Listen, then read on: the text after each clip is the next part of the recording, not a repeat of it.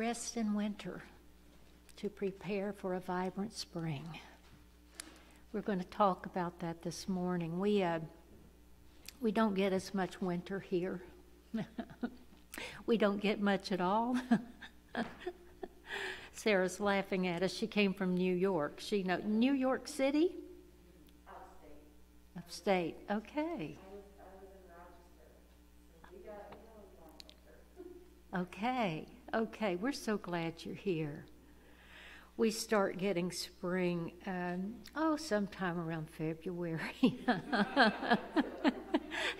and, and we're just whiners. You know, we get a little bit of cold weather, and uh, oh, it's so cold. And uh, uh, my husband's family's up in um, northern Indiana, and they're getting like two feet of snow. And uh, I'm, I'm complaining because my feet are cold. So, what does it mean to winter in order to thrive in spring? We're going to talk about that a few minutes, and uh, actually, we've been doing that for not just a winter, but we've had almost a year of it, haven't we? In March, I think it will be a year that we've had to winter. I was thinking about something recently uh, as I was thinking of this talk and that is that the month of December, the, the word comes from the Latin word decem. And if you know anything about Latin, you, need, you know that that's for the word 10. Well, why in the world would it be a, a 10? And it's because it was named after the, with the original Roman calendar. And December was the 10th month in their calendar that began in March and the calendar ended in December. Did you know that? Most people don't. So the period that we know of January and February was then month-less period. and the days of that time were not marked on the calendar. If we'd kept with the original Roman calendar, then the new year would not begin in January, but in the new growth period that starts in spring and March. Interesting, huh? So, January and February, being a month less period, makes us think of a quiet withdrawal from the outer world, drawn inward for contemplation, a dormant period of reflection, nourishment, from which we can re enter the world when spring comes. This also aligns with the Hebrew tradition that every seven years is a sabbatical year in which one would practice Shemitah. How I love this. I, I loved this when I first heard about it several years ago. I was studying earth consciousness and how we treat the earth and different practices around the world, and I found out that the, the Hebrew practice is to allow the land to rest every seventh year. And it's a healthy practice. So maybe we need to ask ourselves can I tend to my body, my mind, my little piece of earth, given the right time to rest and reflect? These rest periods come, of course, from the Bible, and uh, God rested on the seventh day. And so many of those practices come from that. But we know how important rest is. The, uh, some animals rest all winter, don't they? We could go hibernate like the bear, and maybe some of us feel like we are hibernating. But we are intelligent human beings, and we have that big brain, and we're meant to use it. And so we're not meant to lie dormant all winter, but we are meant to take times to rest and to reflect. What the world needs now is a little more love, little more compassion, a little more caring, a little more taking time, people showing up for themselves and each other we can learn to pivot to rise into our resilience over and over again. Support, grace, and encouragement. Rest. Allow ourselves to rest, regroup, reset, and be ready to join the world again with caring and love. What happens is when we give too much of ourselves, we start to give short answers, don't we? We don't show up as that humane person, that compassionate, loving person that we could be. So, wintering, resting is very important. I was also thinking this week of a story of a woman named Precious who arrived at a methadone clinic in Baltimore for healing and help. She stayed long enough that she could recover and become a new person. She was ready to start over. One day, after she had found her way back to herself, she looked out at the abused and abandoned lot across the street from the facility. This lot was filled with broken liquor bottles, used needles, baby diapers, old tires, and heaps of other trash. We've seen lots like that, haven't we? Where people don't care. She saw in the brown body of earth a space longing to be healed by light and love. And so, without any knowledge of how, she decided to raise a garden. She heard that marigolds made good flowers. She'd never seen anybody plant a flower in her life. She'd never seen anybody that cared enough to do that. Can you imagine? But she'd heard that marigolds were easy to grow. So she bought some seeds. She bought those seeds and decided if any of them grew, she'd take it as a sign. That was going to be her sign from God that this was her thing to do. She cleared a small patch of wounded land, spread open the ground, and planted those marigold seeds. Then she prayed next to her little patch as she watched the rain and the sun come to this land. When the first marigold, marigold sprung up, she entrusted its life to the light around her, and she kept her promise.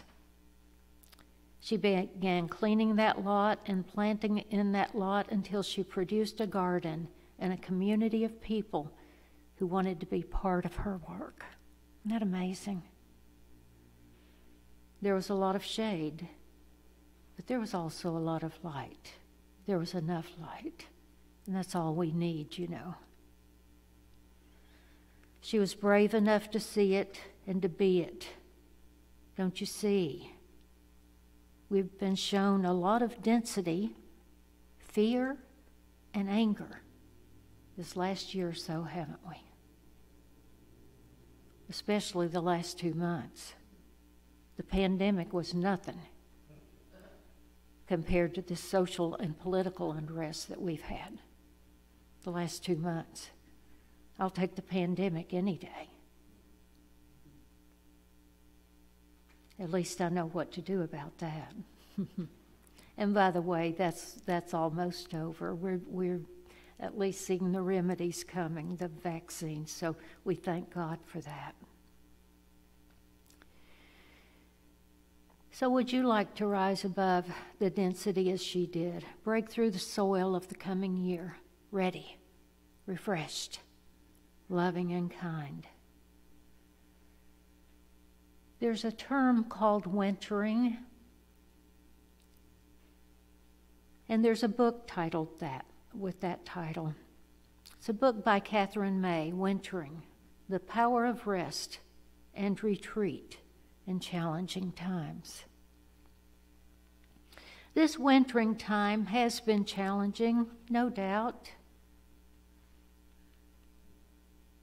But maybe, like me, you're noticing a new beauty in the world, a new love, that's come over all of us, there's a beauty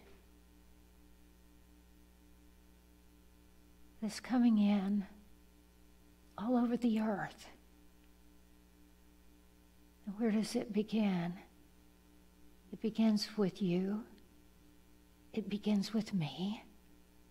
We're the flowers that God planted. Did you know that? We're God's garden. We're not going to waste another moment, are we? Being those beautiful marigolds by whining or complaining or scoffing or creating mischief.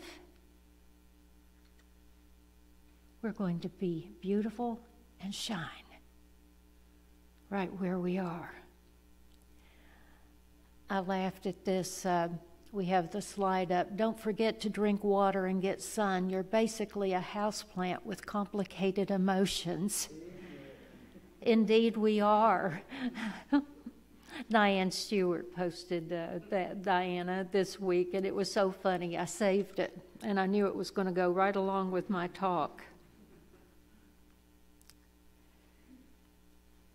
So, in the book Wintering, May's first winter, she says, as one of the many girls her age who, whose autism went undiagnosed, she spent a childhood permanently out in the cold. Permanently. She suffered a major depression at the age of 17 and was diagnosed finally with Asperger's syndrome. She said, I finally saw the chance to make myself again. Because she'd been through it before, she knew what to do when challenging came, times came again in her adult life. She now says it's her duty to share some strategies. Wintering is a way to get through tough times by chilling, hibernating, healing, regrouping. She says doing these deeply unfashionable things like slowing down letting your spare time expand, getting enough sleep, resting. Might be a radical act, but it is essential. So that's what we've been doing, huh? This last year, we've been wintering. Wintering, preparing for spring we think of spring as the season for planting when the snow melts if you're up north and actually have snow. Little green shoots begin popping out of the ground. Farmers sow their fields, and suburban growers visit the garden center. You see them in March and April.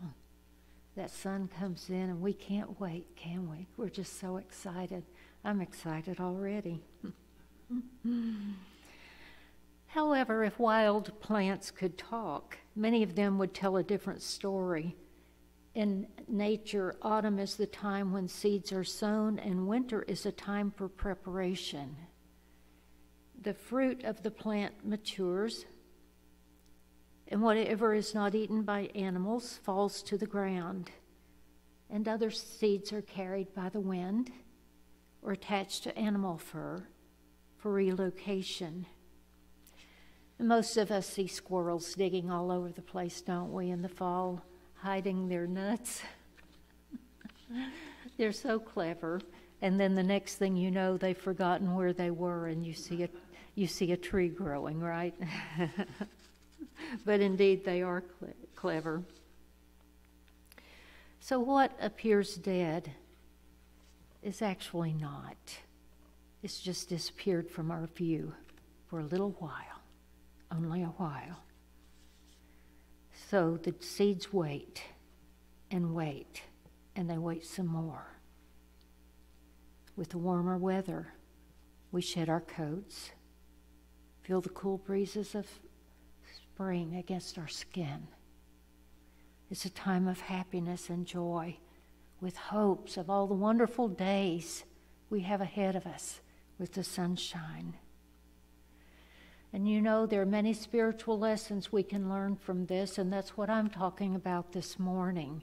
Although it does make us want to go physically plant a garden, doesn't it? These lessons that we can learn on our spiritual journey. These lessons can teach us how we can nurture the seed of our soul so that it can blossom and bloom in the perfect time. In the gardens of the world, seeds need fertile soil, water, air, and sunlight to grow. The soul is like a spiritual seed that lies dormant within us until we nurture it. And how do we do that? We first learn through some sort of miracle or synchronicity someplace in our lives that we can change our thoughts. And that's an aha moment. We, nobody told us that when we were growing up. We didn't know we could change our thoughts and change our lives. Ah. Ah. That's steps that we then turn toward the light, and we don't know it. But we've just taken our first step on our spiritual journey toward peace and love and hope.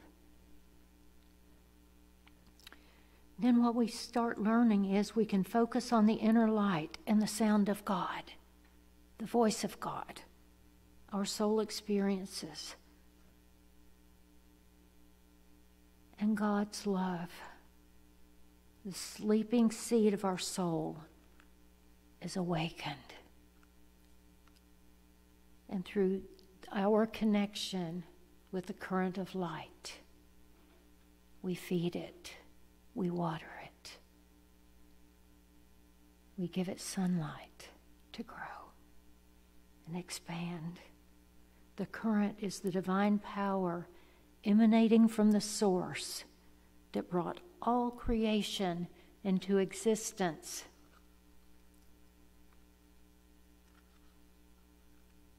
It never berates any form of life. It celebrates it, from humans to animals to plants.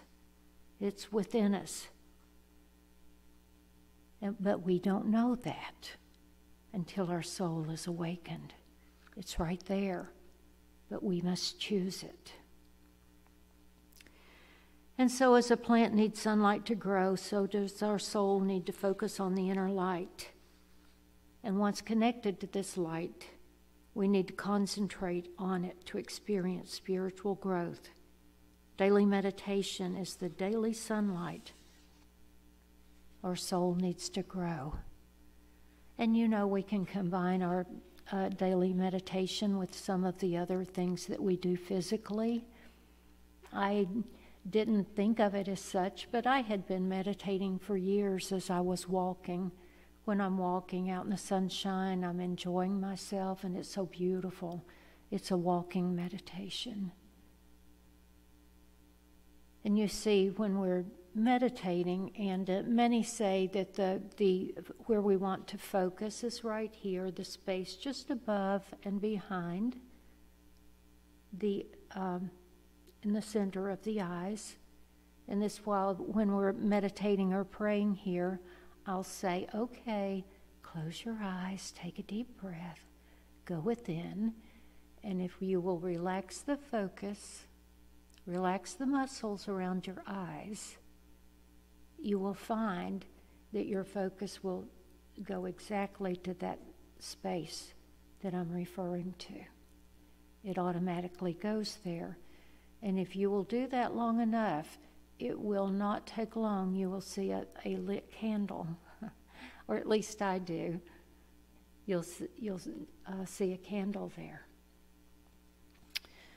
But back, back to uh, talking about coming out of the winter. Once we learn to go into the silence, we need to practice it faithfully. You know, sometimes we grow impatient, don't we? When we don't see instant results, we get impatient. We've learned a lot about that this year. We want instant coffee, instant potatoes, instant everything. We want our computers to boot within microseconds, or we get impatient. And when we're growing the inner garden of our soul, we need to tend it patiently and keep tending it day after day as you would your garden. And with patience and commitment, we're rewarded when we start seeing new growth.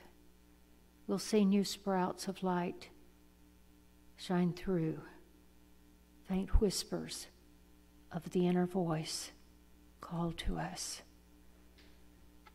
And it's not that we don't care about the outer world, we do. We care about the homeless. We care even more. We care about other people's troubles. We care about the world and that so many people seem to be in pain and angst and anger. We care about that, but you see, we when you are on the spiritual journey and you're tending to your garden and you're watching your thoughts and your, your feelings, you rise above that. You're listening to the inner voice of God and it whispers to you, but that's not you. Rise above that and see God in this and know that good can come from this. And with enough practice, you will do that immediately. And sometimes we stumble and we get caught up in the world, and the next thing you know, we've complained or we've griped too, or we're uh, uh, in, stuck in traffic. And then all you need to do, say is back to balance, back to balance, back to center, back to center back to harmony. Because when we're not in harmony, not only are we affecting how we're relating to the world and we're not sending out the light that we could, but we're also affecting our health.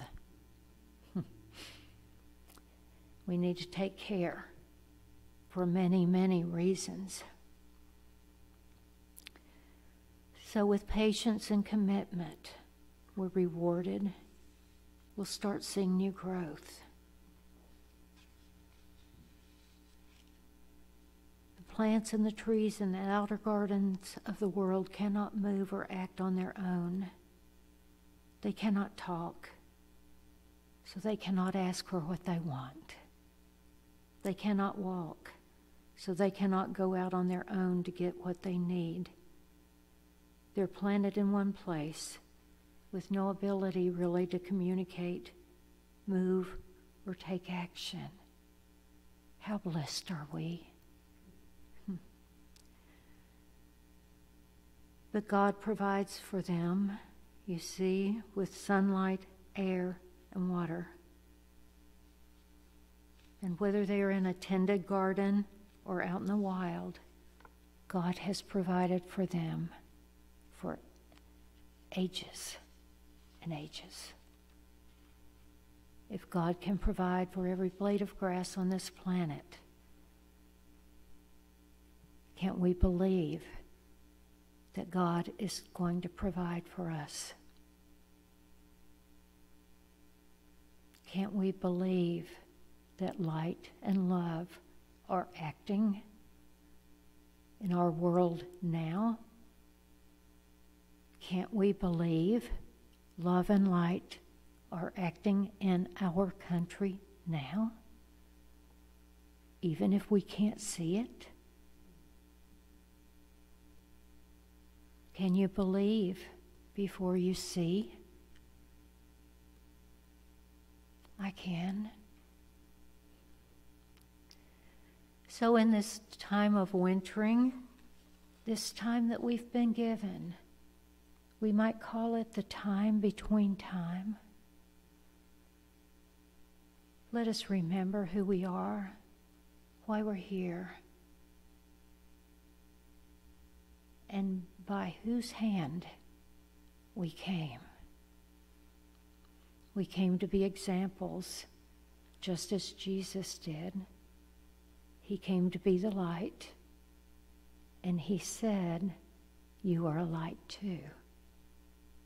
Don't hide your light under a bushel. So while we're wintering, perhaps your winter is over. Maybe your winter didn't last long at all. That you can use the weekends and the evenings and whatever time you do have to rest, to relax, and to restore and come back to life stronger than ever. I said last week that there's a term that's used sometimes in the medical field called failure to thrive.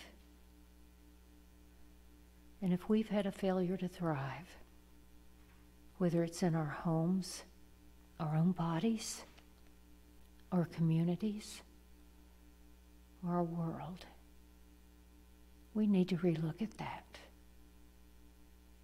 And the best way we can thrive it is to treat ourselves well, feed ourselves well, get the right amount of exercise, move the body, then allow yourself to prepare. As we said when we first started this this talk, or I said when I first started this talk. I say that sometimes we, and I guess it is we. I, God and I are talking together. we, as we said when we first started, allow yourself to rest, restore, and be ready. For the next springtime, of your life and the many springs going forward. I hope you'll have a wonderful week. I hope you'll enjoy the sunshine. And every time you do, think about that light that you're bringing to the world and why you're here. So shine your light brightly. Thank you for your time.